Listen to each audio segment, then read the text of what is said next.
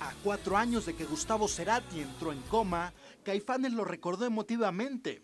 Saben que es parte importante de su historia.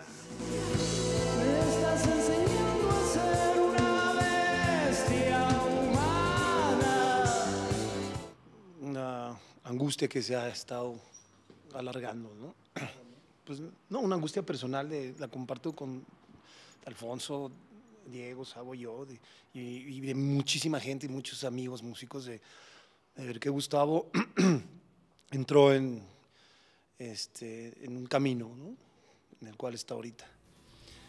Y yo lo único que te puedo decir es, eh, eh, pido, pido mucho por él. eh, creo que independientemente de homenajes, ya es quien es. Eh, Gustavo es un gran, gran músico.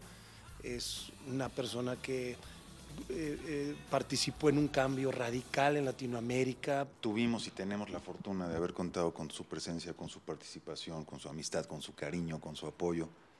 En el primer disco de Caifanes, eh, pues ya creo que sobran las palabras, ¿no? Ahí está ese discurso musical. La banda, a 27 años de su fundación, hoy tiene la misma inquietud de entrar al estudio a grabar su música. Y me acuerdo que íbamos en un Volkswagen rojo que tenía Diego, oyendo la, la estación, y aparece Máteme porque me muero. ¿no? Casi chocamos de la emoción y el bocho dando marometas y todo. Pero esa ilusión con la que te estoy platicando eso, estoy sintiendo otra vez esto. ¿no? Estamos viendo tiempos y demás que, pues, que nos convendría para meternos ya a trabajar en material nuevo. No sabemos si nos va a gustar, para empezar. Primero tiene que satisfacernos a nosotros, creo. Así es, estamos de regreso con, como comenzó esta banda, ¿no? Y, este, y buena parte de los conciertos lo estamos haciendo de esa manera, estamos comenzando el concierto con, con esta alineación y con lo que hicimos y lo que fue el primer disco y La Negra Tomasa, los hicimos en cuarteto.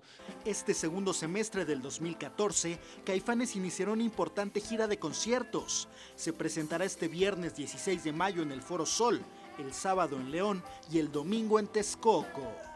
Televisa Espectáculos, Luis Alejandro Ortega.